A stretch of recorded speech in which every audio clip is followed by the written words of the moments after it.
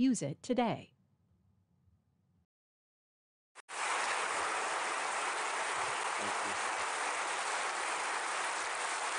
Thank you. Thank you. Thank you all. Um, feel like I should quit while I'm ahead. Yeah. um, If I look like I'm squinting, it's because I can't see you all very well because of these the lights. So, um, before I start, I'd like to thank uh, Professor Munoz and the center for inviting me and making it so pleasant. And I'd like to thank Maggie Garnett, who originally invited me just to visit Notre Dame. And um, I'm very, very fond of Maggie and her parents. Um, before I get to my prepared remarks, some years ago, Justice Scalia told me that I should get out on the road and fly the flag. Well, uh, he tended to be more of an extrovert than I am. Uh, I'm quite content not to get out on the road. But when Professor Munoz asked me to talk a bit about the Declaration, uh, actually, when I heard that he wanted me to do that, my bride and I, Virginia, were in, we were RVing in the mountains of North Carolina and uh, Tennessee. Um, the, but we noticed something there when we were thinking, when I was thinking about this, um, and before I started preparing remarks, that the large number of flags of people who still believe in the ideal of this country in an environment when there's so much criticism, antagonism, and actually people with disdain for the very same. It was very interesting to be with regular people for three weeks. Um, and I love this. One of the reasons we've been RVing, uh, RV advocates and been RVing for over two decades. Um, we simply love to be a part of that. The other thing that I might note about the Declaration is some years ago, I decided to drive with my law clerks to Gettysburg. It was after particularly difficult terms, and you could sense them getting a little irritated. But I wanted them to understand why we do what we do. It's not about us. It's not about winning and losing at the court. It is about the entire country and the idea of this country. So our annual trip is to Gettysburg for that purpose. So this is pretty special to me, I must admit, because I don't recycle speeches, these things are quite a bit of work. And it's also trying to make sure that you actually talk with, not to or at your audience. So, first of all, again, let me thank um, Maggie and Professor Munoz and Notre Dame. It's been quite some time since I've been here, and this has been very enjoyable. I also like to thank the students that I've interacted with. They always stimulate thinking. I have never left an interaction with students who really wanted to learn without learning so much myself. So I'd like to thank Maggie for her introduction, which I think was far too generous and kind, but um, it only deepens my affect, affection for her. As I said, it is an honor to be here with you all in South Bend. I've been fortunate, as, as I alluded earlier, to have visited here a number of times and to have a number of former clerks on the law school faculty. I have also been fortunate to have a number of your outstanding law school graduates clerk for me, and they were outstanding indeed. And now I have one of your graduates as a colleague. And of course, I knew Justice uh, Barrett as a law clerk for Justice Scalia some years ago, and as a member of the Notre Dame Law School faculty. I pray that she has a long and fruitful tenure on the court. This university has been a stalwart, and I'd add as an aside, had I seen this university when I applied to college, there is no doubt I would have been here. uh, in fact, I think I still have a few years that I could go to college. but this university has been a stalwart of American academia and one of the universities we revered from afar in Savannah, Georgia during my youth. Its stated mission has been unwavering, the pursuit of truth for its own sake. And its inspiration has been divine.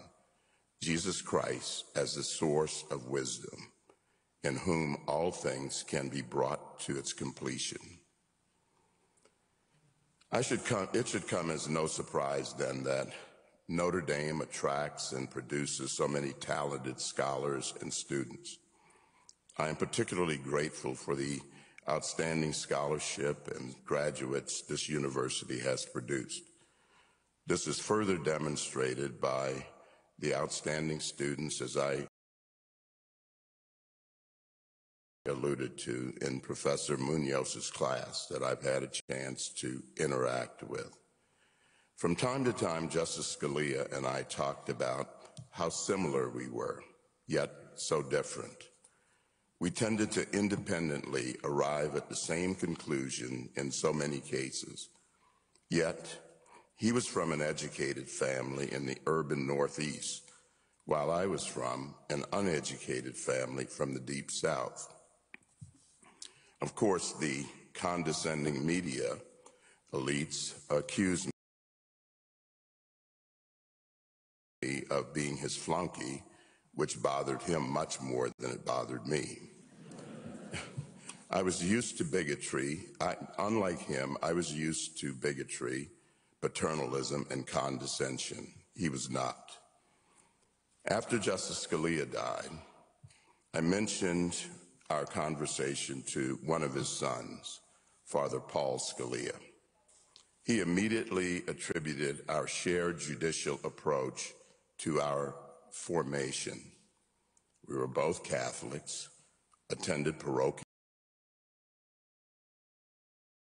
schools, and despite the geographic separation, benefited from a common culture. This may seem somewhat anachronistic today, so when so many of our common bonds had been severed. The differences are now much more pronounced since they are, they are no longer ameliorated or temporized by what we all have in common. In my youth, we believed in our country's aspirational motto, E pluribus unum, despite the reality of unequal treatment. In this postmodern, multicultural world, the emphasis is decidedly on the pluribus and not the unum. So much of my thinking about the Constitution and the Declaration of Independence is influenced by this formation and the world of my youth. Much the same can be said for the Declaration itself. It was decidedly influenced by the shared culture and the attitudes of the founding generation. It was not a grand theory cooked up by a few men. I'm sure you are you all are somewhat aware of my aversion to esoteric theories that have little or remote bearing on day-to-day life, past or present. It could be that be the case that having grown up with people who did not have the luxury of contriving theories unrelated to daily life, I have become uncomfortable with a deductive approach to reasoning. No one in my life started by coming up with a theory first and seeing how it squared with the facts second. There was no time for that. My family's, friends, and neighbors' subsistence depended on a more inductive, experiential approach. They did, they did what worked uh, best based on experience, not on theory. I believe this was the case for the founding generation as it was for me. I'm a product of the state of Georgia, the Georgia of the 1950s and 60s. The world where I grew up was quite different from the world of today. That is obvious and borders on a truism. In the race-based, a, a race-obsessed world of today, one would think that, or could think, uh, that I'm talking about ref or referring solely to race. But alas, I'm not. I mean much more than that. In those days of the 1950s, there was, of course, quotidian and pervasive segregation and race-based laws, which were repulsive and at odds with the principles of our country. It was a world of the solid South when the Democrats were routinely referred to as Dixiecrats. But despite that, there was a deep and abiding love for our country and a firm desire to have the rights and responsibilities of full citizenship. Regardless how society treated us, there was never any doubt that we were equally entitled to claim the promise of America as our birthright and equally duty bound to honor and defend her to the best of our ability.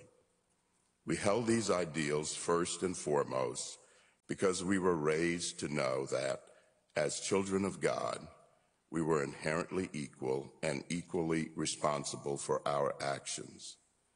In my generation, one of the central aspects of our lives was religion and religious education. The single biggest event in my early life was going to live with my grandparents in 1955. My grandfather was a Catholic convert and very devout. As a result, my brother and I were sent to St. Benedict the Moor Grammar School, where I entered the second grade. Between my grandparents and my nuns, I was taught pedagogically and experientially to navigate through and survive the negativity of a segregated world without negating the good that there was. Or, as my grandfather frequently said, without throwing the baby out with the bathwater. To this day, I revere, admire, and love my nuns. They were devout, courageous, and principled women. The first to teach me was Sister Mary Dolorosa, my second grade teacher. I was not Catholic at the time and had only one or two memories of ever having gone to church before St. Benedict's. As a part of our catechism lesson, Sister Mary Dolorosa asked, why did God create you? In unison, our class of about 40 kids would answer loudly, reciting the Baltimore Catechism God created me to know, love, and serve Him in this life, and to be happy with Him in the next. Through many years of school and extensive reading since then, I have yet to hear a better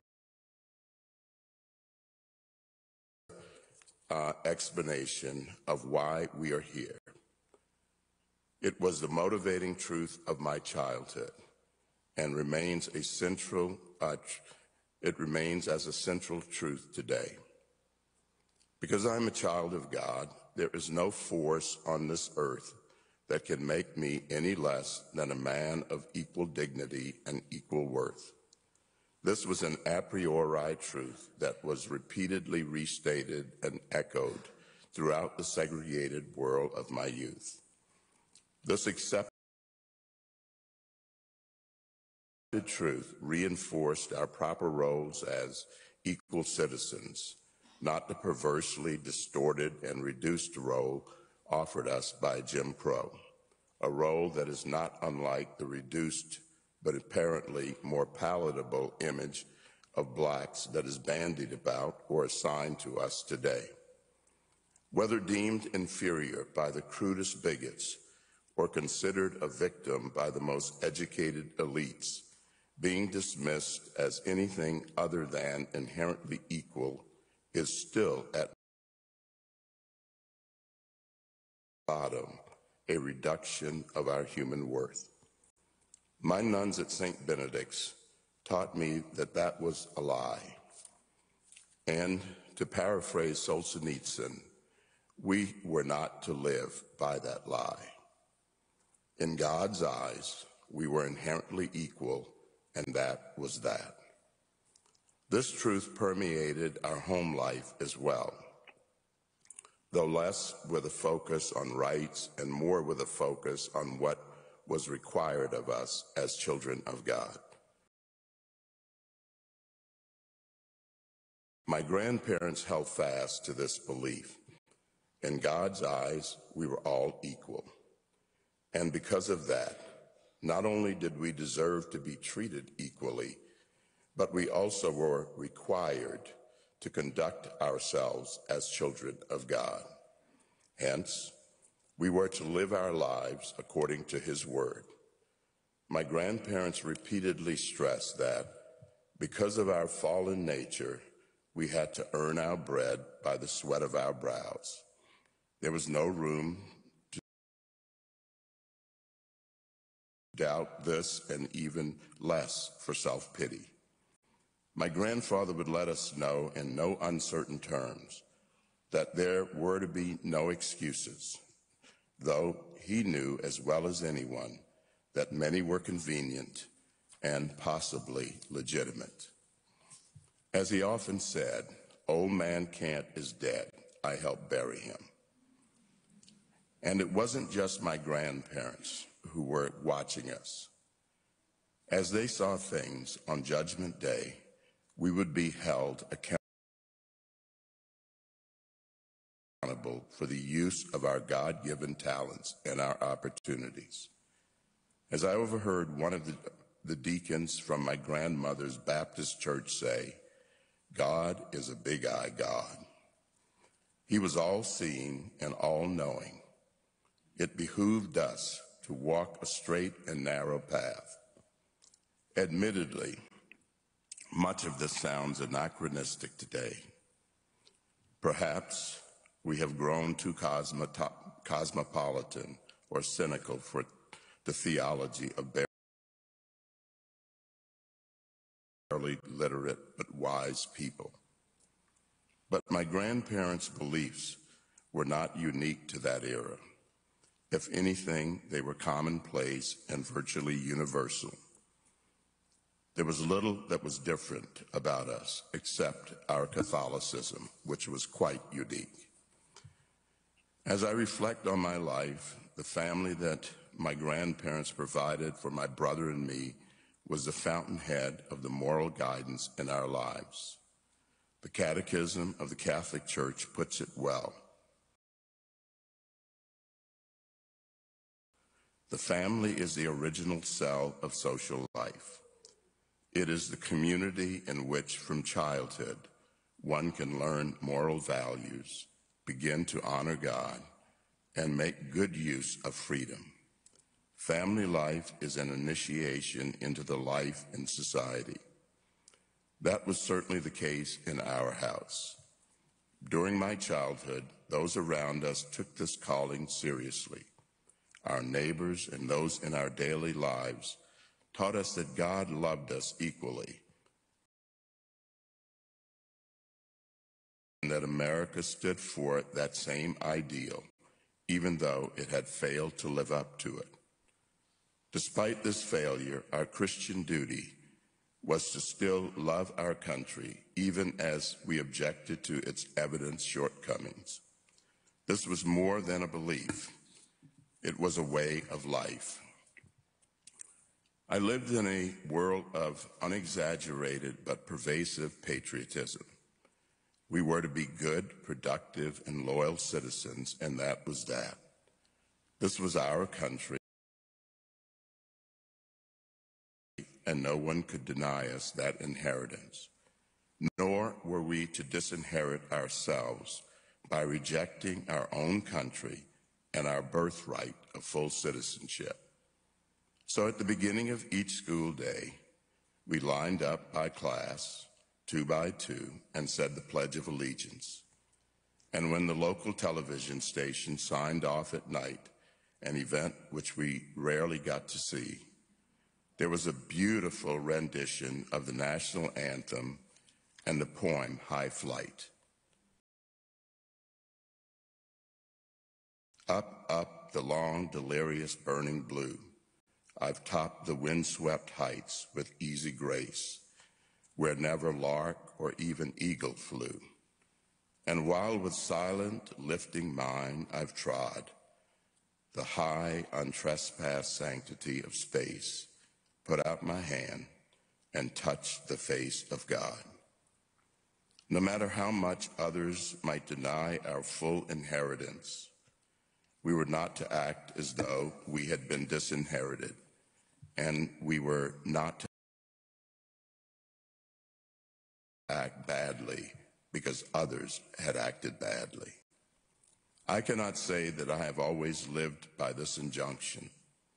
Unfortunately, for too many years of my life, I lost sight of that lesson and saw it as a sign of weakness or cowardice.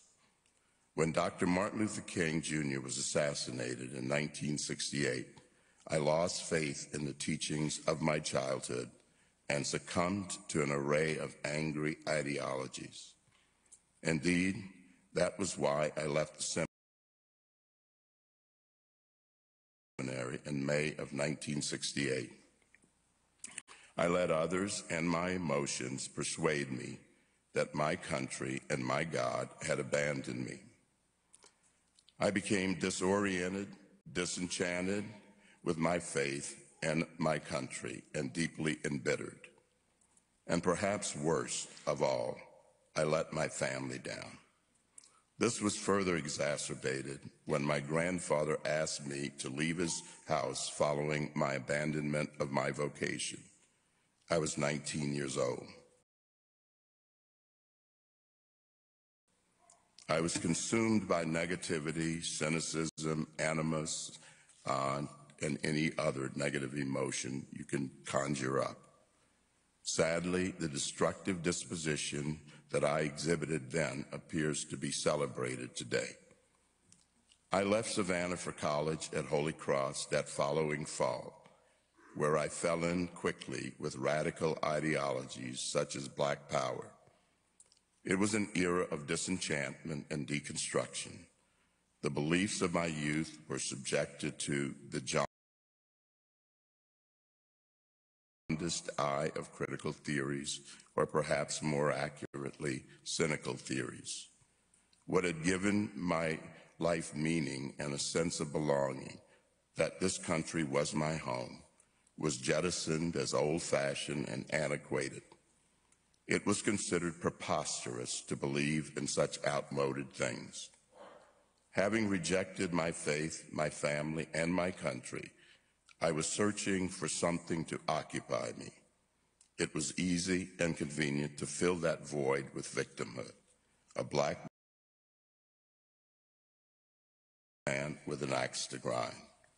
So many of my time focused intently, excuse me, so many of us focused intently on our racial differences and grievances, much like today, I'm afraid. My grandfather, a man of reality, not theory, often asked me in an exasperated tone, When you get your way and undermine this country, then what? Other times, he would simply walk away, wondering out loud why he and my grandmother had made so many sacrifices for me. From time to time, he would ominously forewarn me, You just live long enough. You'll see. As usual, he was right. As I matured, I began to see that the theories of my young adulthood were destructive and self defeating. After recognizing that I was adrift, what I realized more than anything else is that I needed to regain common sense and judgment and what I had jettisoned. I had rejected my country my birthright as a citizen, and I had nothing to show for it. Perhaps that is the ultimate destination of nihilistic ideologies. The wholesomeness of my childhood had been replaced with an emptiness, cynicism, and despair. I was faced with the simple fact that there was no greater truth than what my nuns and my grandparents had taught me. We are all children of God and rightful heirs to our nation's legacy of civic equality. We were duty bound to live up to obligations of the full and equal citizenship to which we were entitled by birth.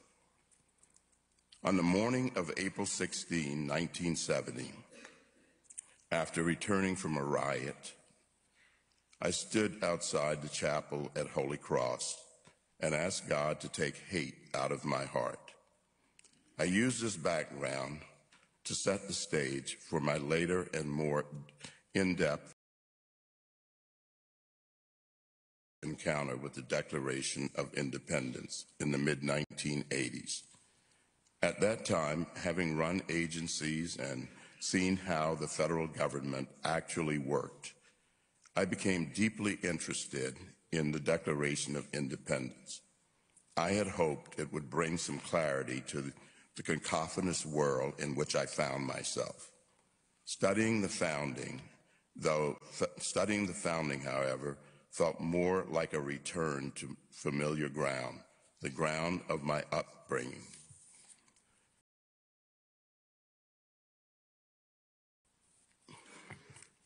The Declaration captured what I had been taught to venerate as a child, but had cynically rejected as a young man. All men are created equal, endowed by their Creator with certain unalienable rights. In so declaring, the Declaration of Independence did not propose to have discovered anything new. Its truths were self evident, they were beyond dispute, they were a priori in the society of my youth, imbibed at school. home, and in the culture. They were given. And as I rediscovered the God given principles of the Declaration and our founding, I eventually returned to the church, which had been teaching the same truths for millennia. That the Declaration set forth self evident truths was no accident. The founders, quite frankly, didn't have the time or the mandate to reinvent the wheel or the world. Between April and July 1776, the fervor for, the, for independence was palpable throughout the colonies. The colonies, their counties and towns, and even trade associations were drafting their own declarations of independence.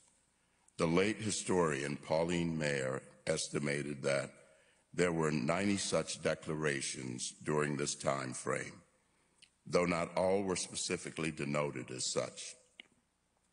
These lesser known declarations typically began with lists of grievances against the British Empire.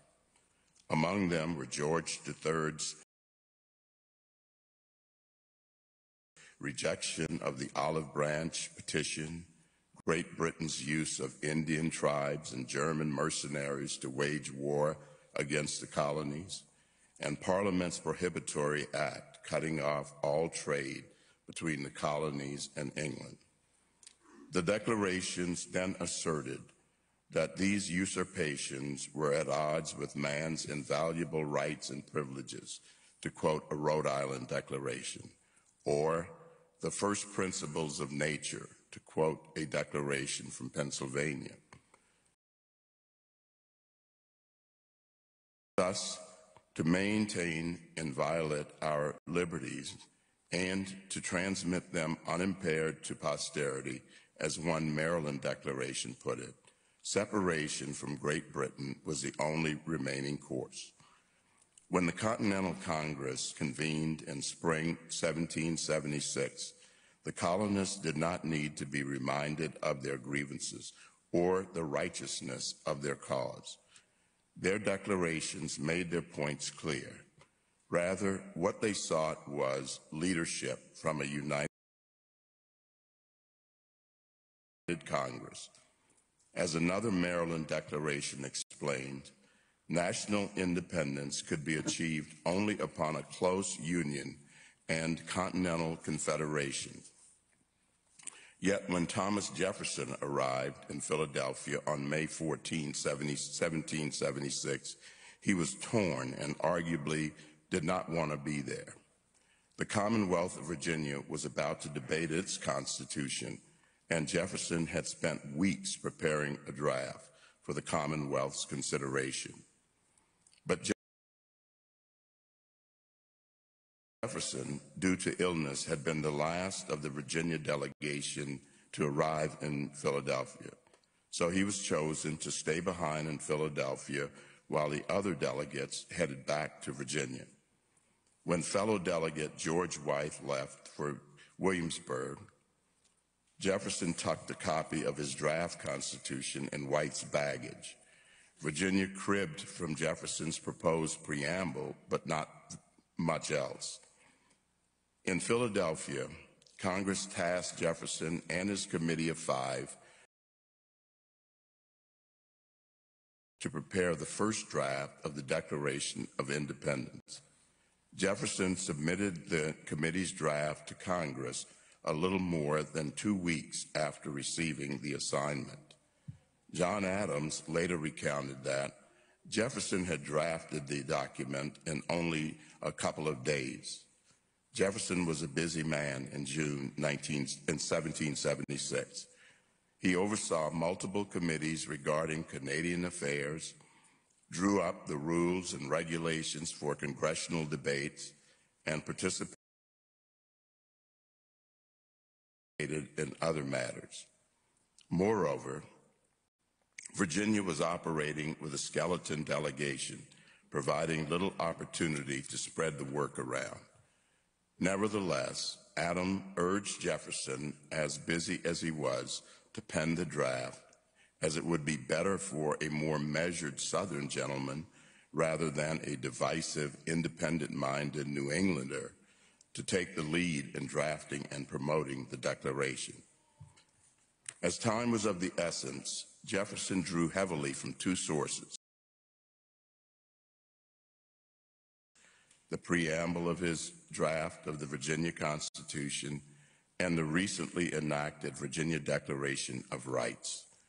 Jefferson's preamble included many of the grievances against King George that, up, that ultimately appeared in the Declaration.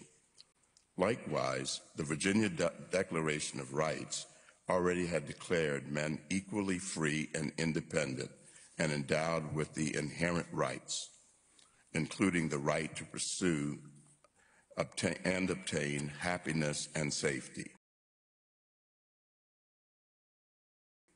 So ultimately, Jefferson did not propound a new political theory. Often the, he wasn't even introducing new language. Rather, he reiterated what his fellow countrymen already believed and what they had already repeatedly set out in their own declarations. There was no time or appetite for a new theory of American independence. Even the words in the Virginia document were not original. The American founding drew upon centuries of British history,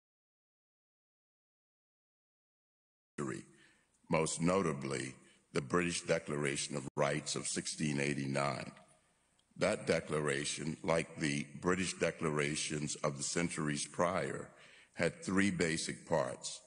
One, to raise grievances against the king, another, to declare the rights of Englishmen, and the third, to fashion a government to protect those rights.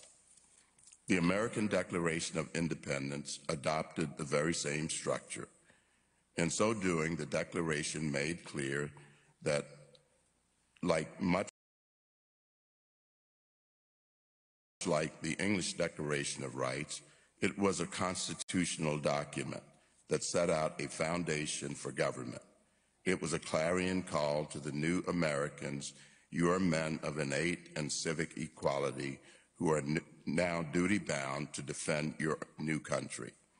Indeed, once published, the Declaration was distributed not only among the colonies, but also to each commander of the Continental Army.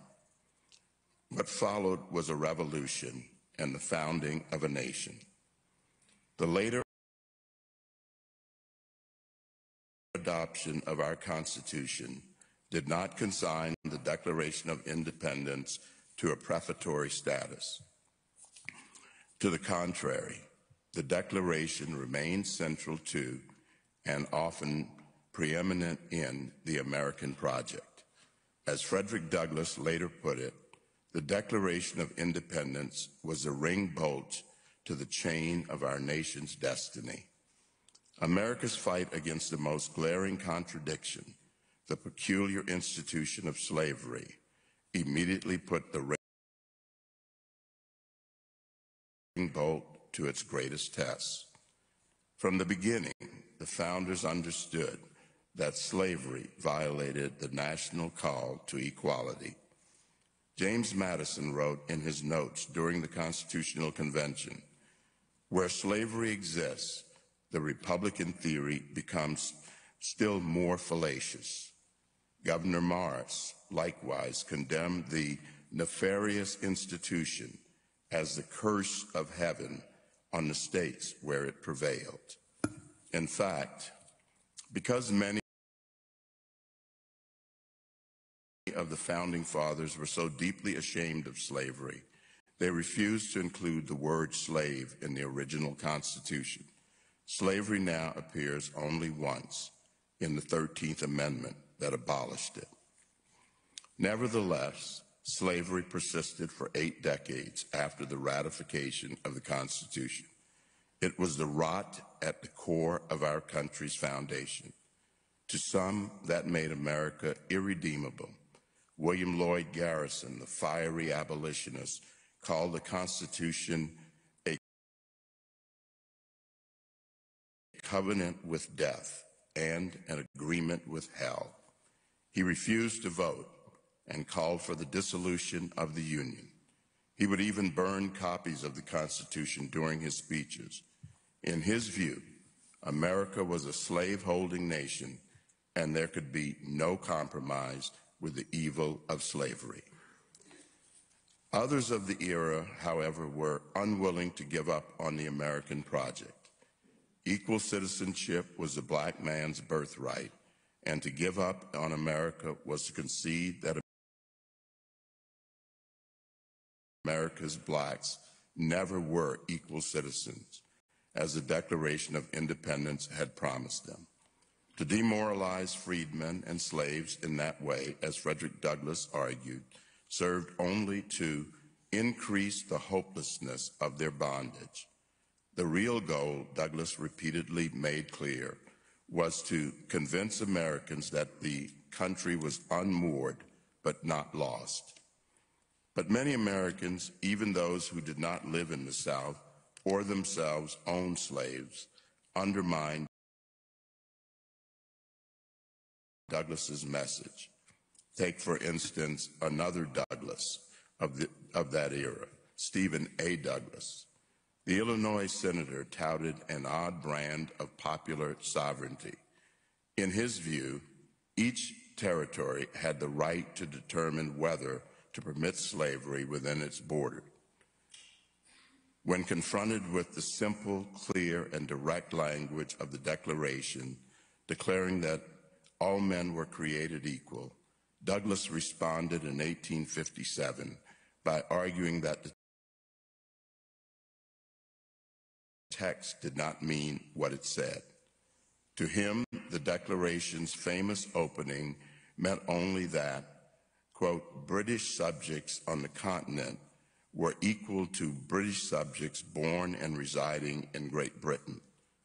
Thus, he reduced a universal truth to a narrow national one. A large group of Illinois citizens were dismayed by Douglas's attack on the Declaration of Independence, so they invited a young lawyer to respond to Douglas in Springfield, Illinois. That man, of course, was Abraham Lincoln, who, be who became perhaps the Declaration's greatest proponent and advocate. Lincoln conceded that the Declaration did not assert the obvious untruth that all were then actually enjoying equality, nor yet that they were about to confer it immediately upon them. But man's unequal station meant only that the dream was deferred, it remained to be attained. As Lincoln explained, the Declaration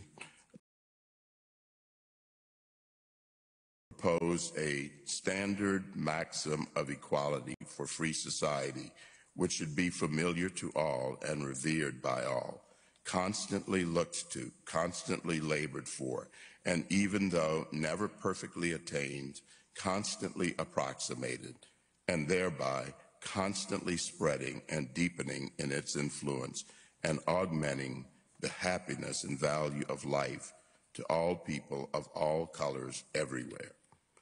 To Lincoln, this promise of equality was not merely important to the nation, it was foundational. There was no American nation without the Declaration of Independence.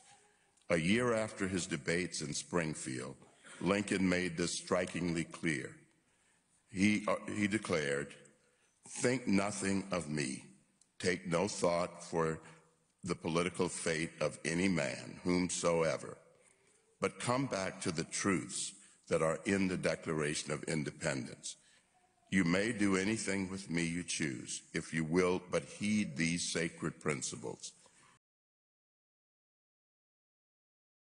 You may not, you may not only defeat me for the Senate, but you may take me and put me to death. Unfortunately, President Lincoln would later pay that ultimate price. So too would almost 700,000 Americans. Decades of racial strife followed, but time and again, the Declaration of Independence remained our national North Star, or as Pauline Maier describes it, our American scripture. We did not surrender our inheritance as equal men endowed by our Creator with inalienable rights. Neither slavery nor Jim Crow defeated us. We recognize, as Dr. Martin Luther King Jr. declared decades ago, that the magnificent words of the Constitution and the Declaration of Independence were a promissory note to which every American was to fall heir. The history of our nation is our shared struggle to live up to that promise.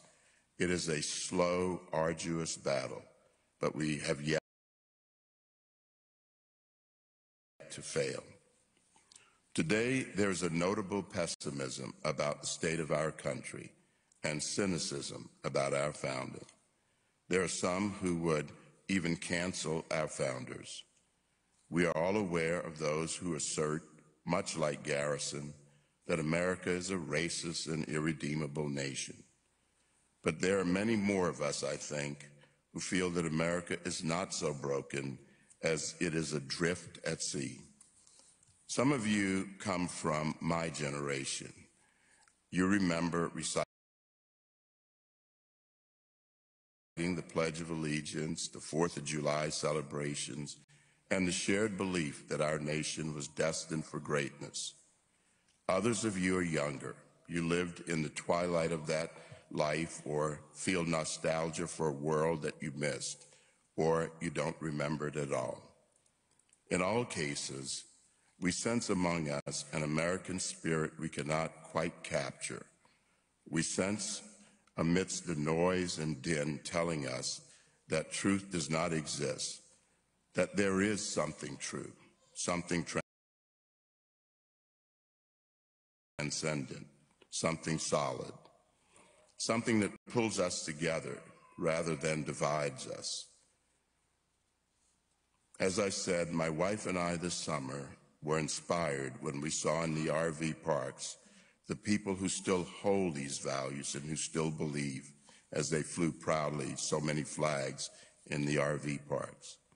I lay no claim to the answer or to the gospel, but this I do know. For whatever it is worth, the Declaration of Independence has weathered every storm for 245 years. It birthed the great nation. It abolished the sin of slavery, and it endeavored to address its effects. While we have failed the Declaration time and again, and the ideals of the Declaration time and again, I know of no time when the ideals have failed us. Ultimately, the Declaration endures because it articulates truth.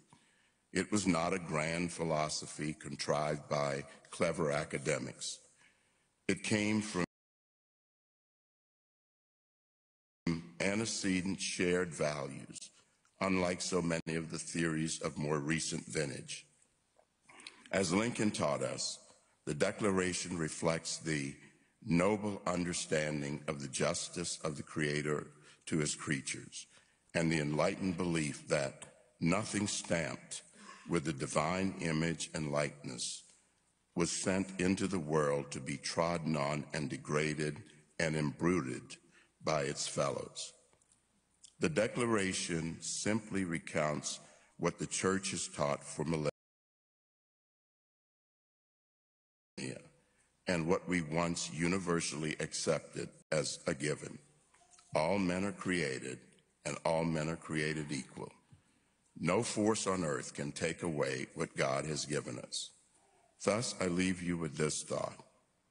The Declaration of Independence may or may not be the American scripture, as Pauline Maier's book is entitled, but it establishes a moral ideal that we as citizens are duty bound to uphold and sustain. We may fall short, but our imperfection does not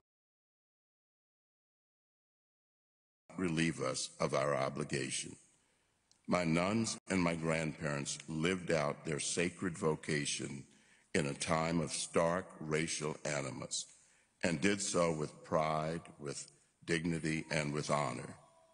May we find it within ourselves to emulate them. Lincoln put it best as in his Gettysburg Address. It is rather for us to be here dedicated to the great task remaining before us, that from these honored dead we find increased devotion to that cause for which they here gave the last full measure of devotion, that we here highly resolve that these dead will not have died in vain, that this nation under God shall have a new birth of freedom, and that government of the people, by the people, for the people, shall not perish from the earth. May we as a people and a nation endure and prosper. May God bless you. May Uh, and may God bless and preserve our great country. Thank you, and go Irish.